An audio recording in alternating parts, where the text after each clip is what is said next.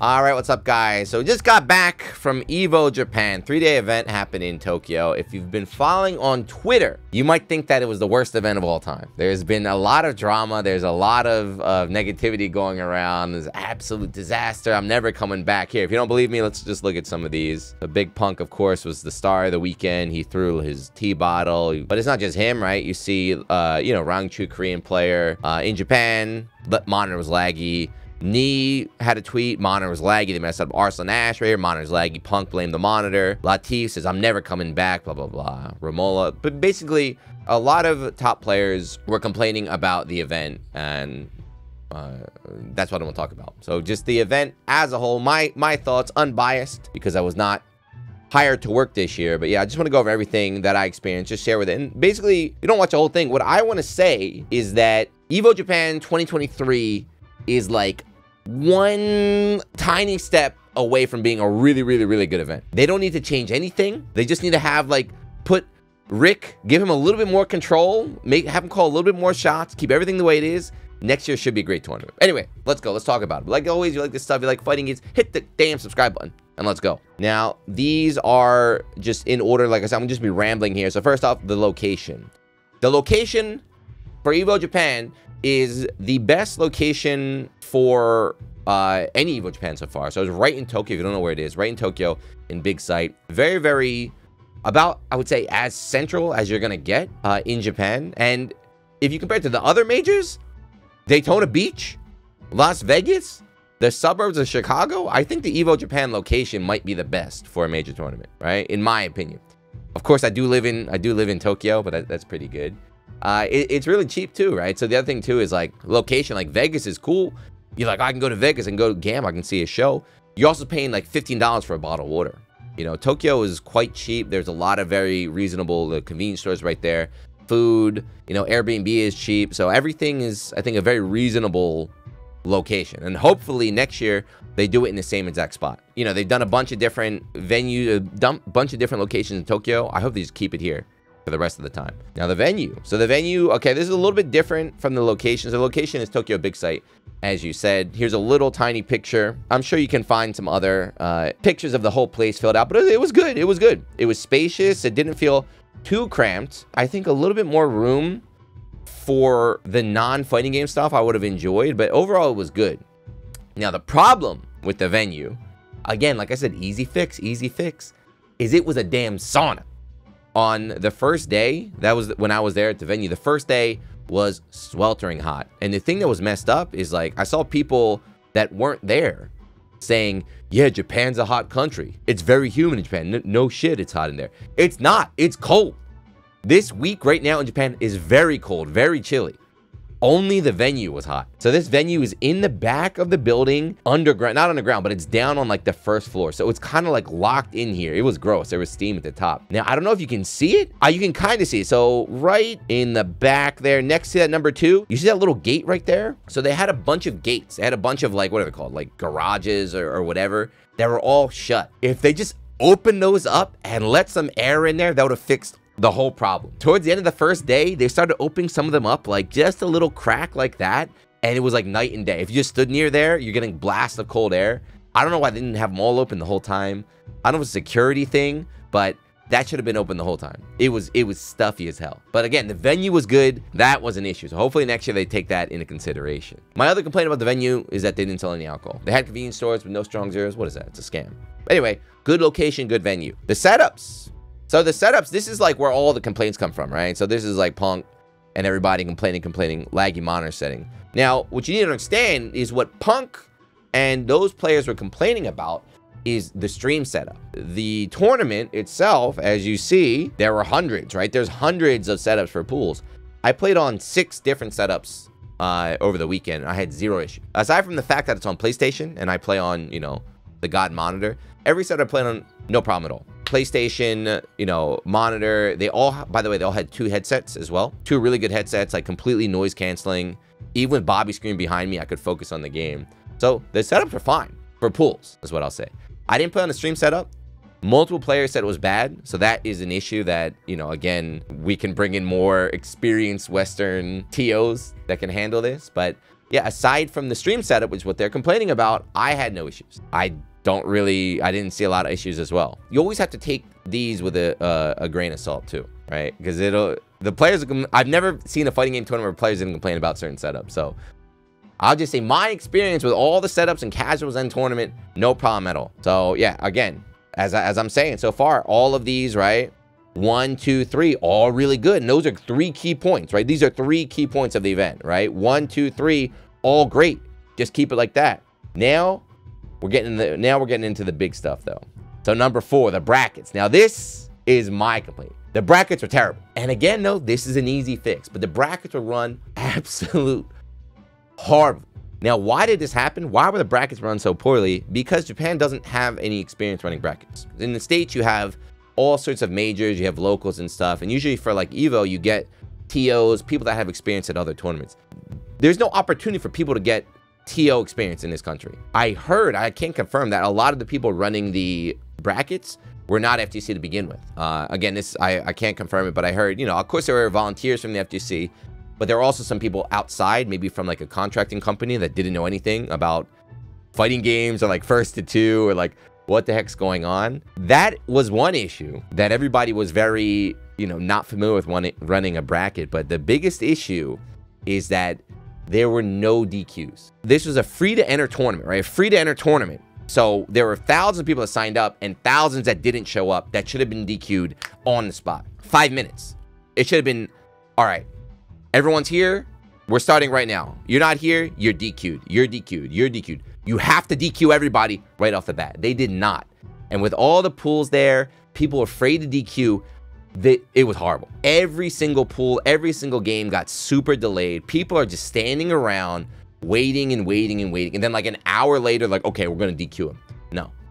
But again, like I said, this is that was horrible, but this is inexperience. We you have enough people say, look, this was terrible. You need to fix it next year. They can fix it right? Again, again, this is an easy fix, right? This is an easy fix. At one point for my Tekken pool, I just started DQing people because my bracket run was just kind of, he didn't know what to do. He was like, I have to wait to get the okay. I was like, no, you don't. I was like, hey, whatever the guy's name was, are you here? No? Give me that. Just DQ him right there. That's all you have to do. Just DQ these dudes. It's free to enter. Oh my God. That That's my complaint. And that's everyone's complaint. Everybody had a horrible tournament experience in that regard. And it's so easy to fix. Just DQ him. That's all you have to do. The stream. Ah, now this is personal. I'm very upset. I'm very upset at the stream. So this is a good event. You had some of the highest level play in the entire world. And what happened? Where was the stream? It was Sajam with his socks at like 4.30 in the morning in San Francisco. So the English stream was off-site in San Fran. Now, I know that they wanted to be here. You know, I know the the English production crew. I know those guys wanted. They definitely wanted to be here. I know, I know the commentators wanted to be here. I know everybody wanted to be here, but for some reason they were not. I don't know the the story behind that. I don't know. I know some old dude that probably said oh, it'll it'll be fine, but that was very very disappointing. Like you'll never be I don't care how good your commentators are. You'll never be able to capture the like energy and the feeling of a tournament if you're not there. On the ground with the noise right in the seat with the player, you'll never ever be able to capture the energy. So I tried, you know, I had talked when I found out that they were going to do a remote stream. I said, "Hey, I can do it right here. Uh, you don't have to pay me. I got all the equipment. You literally just give me a table. That's all. I, I'll bring my own table. Just give me the okay I can do it. I could have saved Obama from running around filming cosplayers. We had more than enough commentators there. It could have been a really fun stream, and it just I never got I never got the no. It just suddenly all communication got cut. I wonder what happened there. I wonder who who shot it down. But if you're gonna do this again next year, please have a, a, a on-site English stream.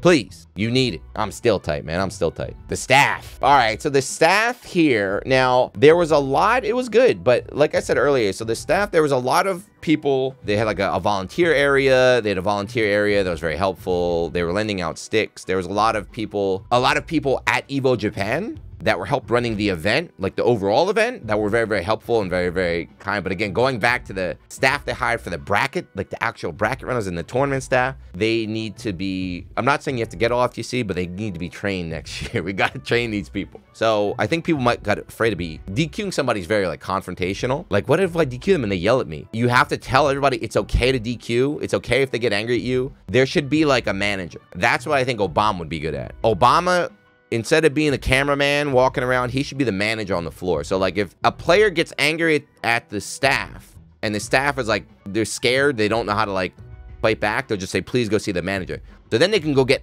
angry at Obama and that that'll end real quick. They'll be like, oh, you're right, I should have been DQ'd. I'm sorry about that. But I, I think I think there should have been more maybe leadership on the board because like leaving these up to like the inexperienced staff, I don't think I don't think was a very good idea. But yeah, next year, thank you to all volunteers, but next year let's train harder, please. Non-gaming. All right, so non-gaming. This is, uh, I just mean, aside from the tournament and everything, they had a Tekken 8. They had Tekken 8, which is really cool. That was like the first time it's ever been playable. So that was really cool. They had Street Fighter 6 out there. They had Bedman. So they had the official like brands there, which was nice. But the there was no artist alley really. There was like one artist booth. There was almost no merch. They had like a cosplay like parade and stuff, but I wish they had more. This is something that I noticed at Evo last year in Vegas.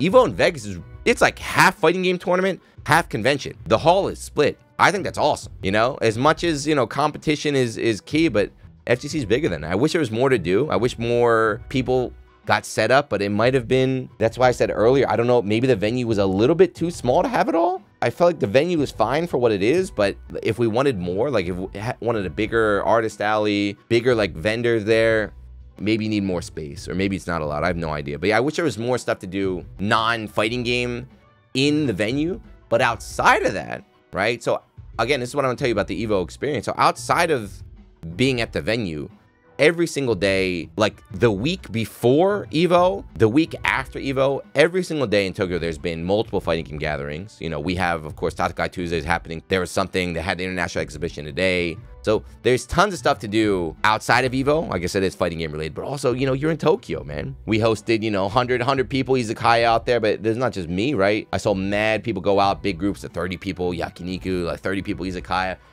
night. So I think that goes back to location, but it's good. It's a good event. There's a lot, a lot of stuff to do. And again, I think that can only really happen in in Tokyo. I'm not trying to do the 100 person IHOP party in Daytona Beach, man. Definitely not. And then last, yeah, other, you know, closing thoughts. I guess it's just like at the end of the day, it was a free event, right? It's a free event, which is amazing. You know, it's free. So many people, I think 5,000 people showed up for Evo. And I saw a tweet that said something like 25 plus went to the venue. I've met a lot of foreigners too that didn't even know what was happening. They were just here on vacation and they, they swung by. So that can only happen at a free event. So that, that alone makes up for a lot of stuff. So overall, like I said, I think Evo Japan 2023 was an excellent event unless you were one of these five very, very serious. You know, if you're a very sweaty competitor, you had to play on stream, that's an L. But again, that's an easy fix. And then the bracket stuff, again, that's also an easy fix. But I think like the base, the foundation, out of all the other Evos that we've had, you know, the, the Ikebukuro one, the Fukuoka, which is too far, the Makuhari Messe, again, way too far. I don't like that one. I like this is where it's got to stay. I think we got to keep it here. Just literally, if we have a run back, like just like, can we run it back? Next week. Let Rick take more control. You know, let the American TOs take more control because you know they were just doing like side consulting for this one. We could fix all these problems and be a pretty, pretty amazing event. But yeah, that's it.